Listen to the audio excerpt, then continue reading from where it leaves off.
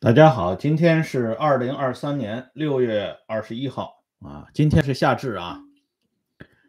呃，今天我在油管社区里啊写了这么一段话：任何一个国家，不论它的传统，不论它的德行，一旦走到任人唯亲的这一步，也就完了啊，至少是完了的开始。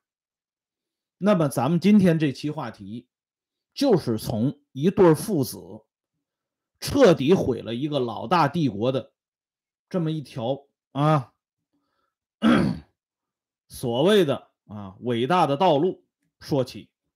咱们先来看一本杂志，这是我保留的一本非常好的杂志啊。人物，一九八八年第一期，这上边留下了溥仪的一段硬话。这溥仪当年说过这样一段话。他说：“这一对父子贪赃误国，有辱列祖列宗。我大清三百年天下，这爷俩一手坏之，就是他们俩亲手给毁掉的。”话说到这里，咱们有些会员朋友已经猜到了，说的不是别人，就是大清朝末年最后一个铁帽子王。庆亲王一况和他的宝贝儿子固山贝子载镇载镇啊，这对爷俩把这个老大帝国的祖宗江山给断送了。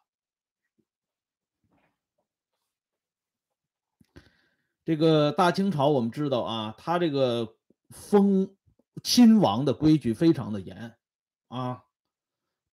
尤其是封这铁帽子王，你别看他两百七十多年的天下，但是封来封去，只有十一个人可以成为铁帽子王，就是世袭罔替啊。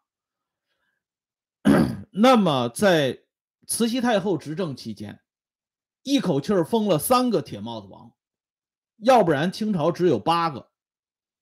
他封的这三位铁帽子王，第一个。是恭亲王奕欣，这个呢 也还算凑合，因为没有因为没有奕欣的话，慈禧太后啊上不了台。这个辛酉政变大家也都知道。第二个纯亲王奕轩，这个也勉强。为什么？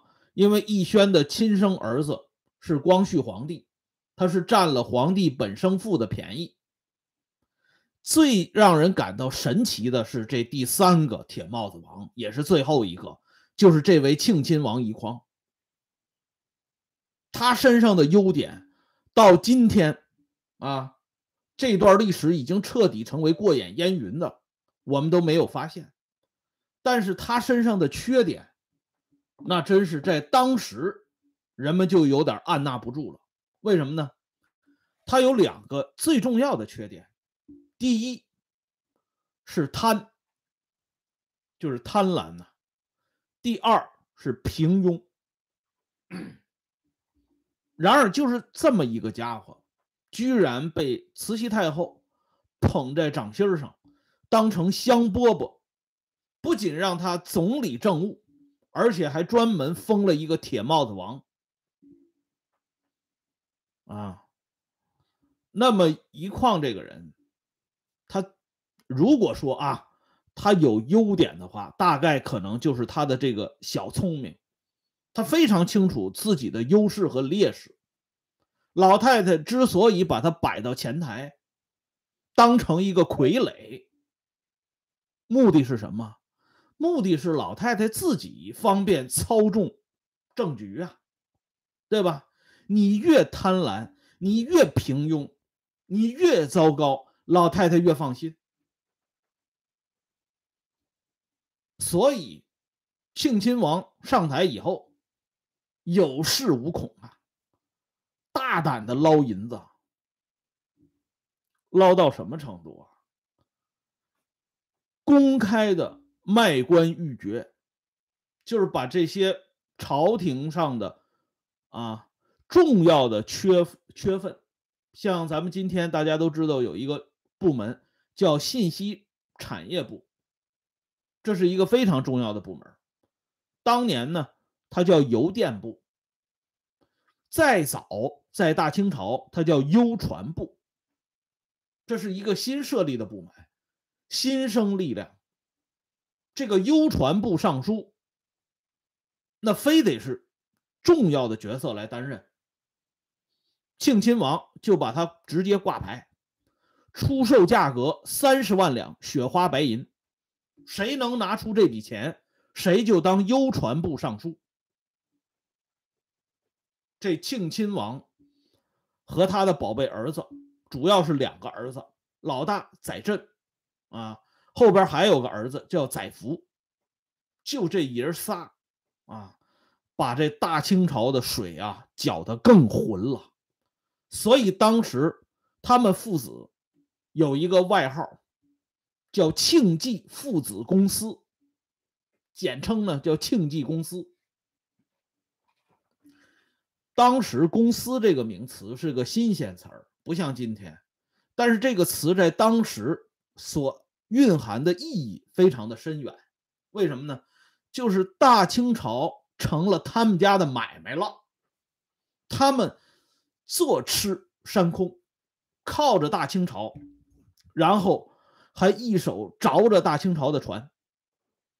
这大清朝当时已经是千疮百孔了，可是庆亲王父子仍然不放手，狠狠的着啊，不把它着沉了不罢休。这里边我们要提两个重要的人物，也要提两张重要的照片。这两个重要的人物啊，一个叫曾国藩，一个叫孙家鼐。这两个人去世以后，大清朝给予他们的谥号居然是一样的，都是文正。所以曾国藩又叫曾文正，孙家鼐叫孙文正。曾国藩大家都知道啊，孙家鼐。大家可能有点陌生，但是要提孙家奈毕生的一项重要事业，我相信刚刚走过高考的朋友们一定会非常的深刻。北京大学的创办人就是这位孙家奈，他也是北京大学的首任校长，当时叫京师大学堂，他是北京大学的前身。那么我们先来说一下这两位文正公与两张非常著名的晚清的照片有直接的关联，因为清朝末年大家知道啊，这个照相技术已经引入到我国了，哎，而当时的主持大局的人就是恭亲王奕欣，他专门。啊，请外国人给他照了一张相片因为他是洋务运动的主将嘛，他试图呢是通过这种方式向外界宣达一个意图，就是洋务运动开始了，我大清朝比不再闭关锁国，连当局的人都愿意尝试一下照相技术。然而这张照片啊，后来就传到了曾国藩的手中。曾国藩和他的学生赵烈文在同治六年夏天的时候，曾经有一番艰难的对话，其中就谈到恭亲王奕欣的这张照片。曾国藩的学生赵烈文啊，说了一句话，他说：“恭亲王的这张小照片我们看了一眼，这就是一个。”清俊少年，非尊仪重器，不足以镇百僚。这句话翻译过来，就是恭亲王的照片上显示恭亲王这个人的气质，这个素质很轻浮。大家应该记得当年的那个典故：北宋的大臣张敦，王安石的学生。那是奸臣传里边的人呐，是奸臣呐。但是他说了一句名言：“端王轻佻，不可君天下。说的是谁呀？就是后来的宋徽宗。宋徽宗当时是端王，他就说这个端王爷太轻浮了，他不能当接班人。这句话一直流传到今天啊。那么，恭亲王的这张照片留给曾国藩师徒的印象，同样也是轻浮轻佻。所以他们爷儿俩说，凭着恭亲王的这个德行，他不足以啊掌控朝局。而曾国藩师徒的这番议论，或者说这番预言，最后变成了现实。但是我们知道啊，恭亲王虽然再不济，他在清朝末年的这些王公亲贵里，已经算是佼佼者了。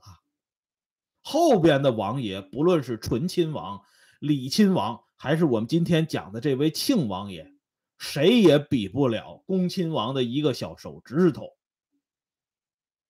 所以第二张让大清朝这些重臣们痛心疾首的照片。终于出笼了。这张照片是庆亲王的大儿子贝子载振，他的一张照片。载振当时可不是一般的青年贵族，他是御前大臣啊，同时还是商部尚书。哎，而且。还是领侍卫内大臣，就相当于今天的中央警卫部队的负责人，一系列重要的缺失呃差事都由载振来兼任。载振当时有一张非常有名的照片啊，是在著名的风景胜地人间天堂杭州拍的，西湖边上拍的。这个照片呢，是载振穿着一个短衣襟儿，手里拿着一个马鞭子，坐在最中间。用今天的话讲，这叫 C 位啊。而当时看过这张照片的人，就是八个字的评价呀：轻薄之状，浮于纸面。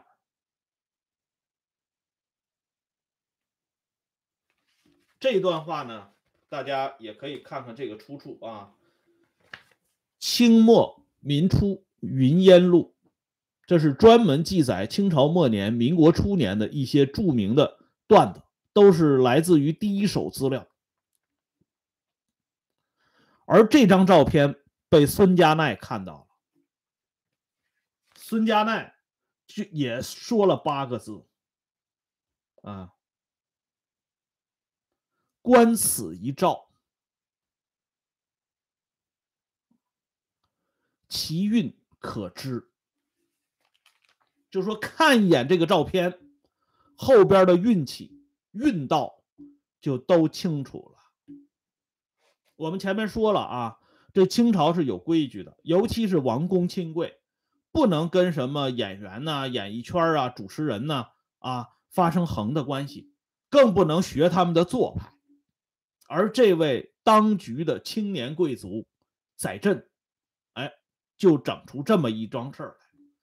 接下来的一件事儿，就闹得更大了。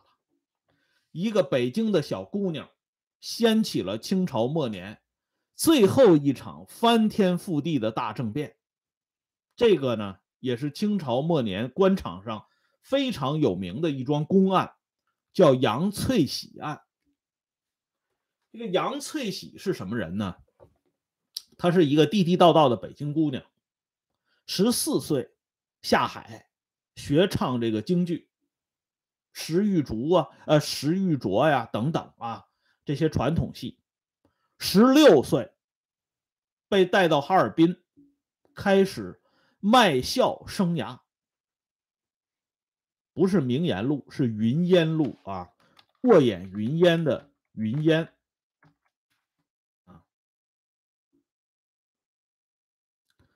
这个杨翠喜到哈尔滨去卖笑，成了风尘中人。为什么偏偏去哈尔滨呢？因为当年的哈尔滨跟今天可不一样。今天大家看了那个曲婉婷那个演员，她的两个房子在哈尔滨的房子被拍卖，一共才卖了四百多万，真的不算是很贵的，甚至是相当便宜的啊。可是当年哈尔滨的地价，那在全国排第四，仅次于上海、广州、天津。当时中国的四大名城啊。就是刚才我念到的这四个城市，类似于今天大家非常向往的北上广深。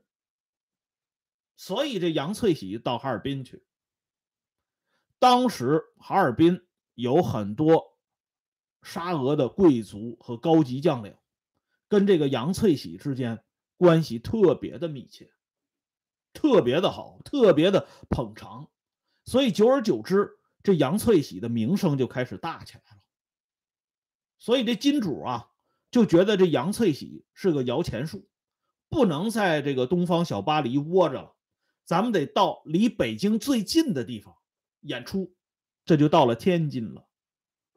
这个故事呢，就从天津这里开始。载振当时啊，就是公元一九零六年、一九零七年。载振当时有一项秘密的使命，这个秘密的使命是什么呢？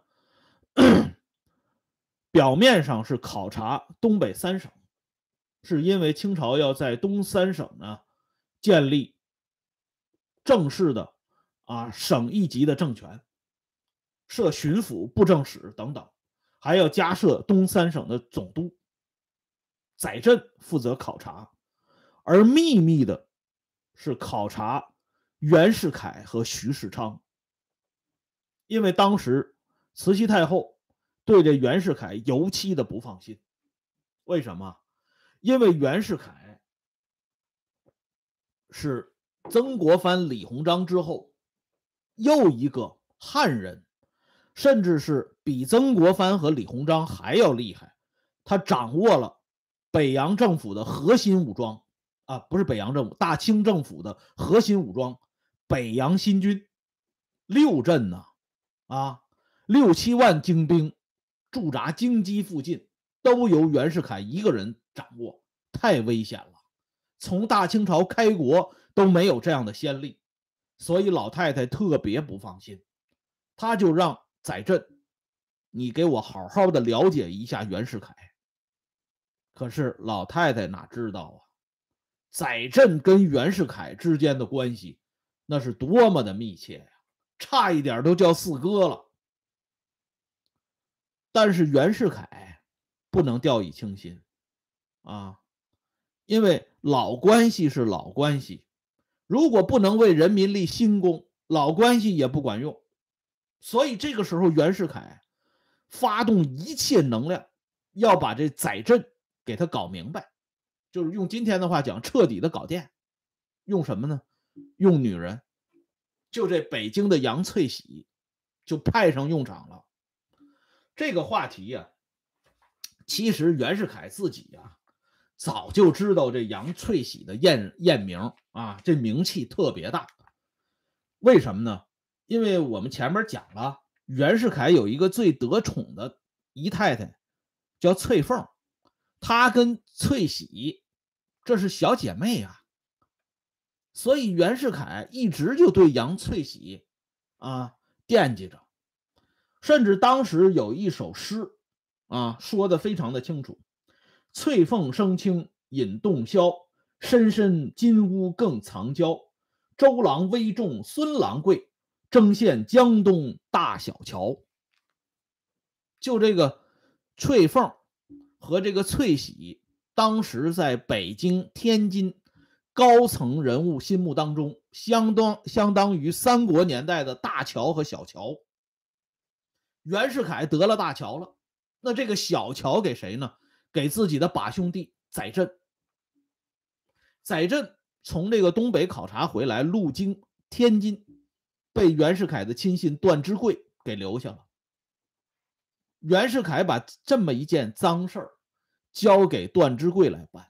就是说，袁世凯这个人，他是很清楚的，干什么事儿用什么样的工具，这段芝贵就适合干这种事儿。再加上段芝贵自己也有私心，也有小算盘，他要当省部级领导。当时段芝贵的位置是什么位置呢？相当于今天的天津市公安局局长。所以段芝贵花了一大笔银子，啊。几十万两银子，把这杨翠喜给买到手了，送给载振。载振当时啊，听了一场杨杨翠喜的戏，看到半道，这贝子爷就走不动了。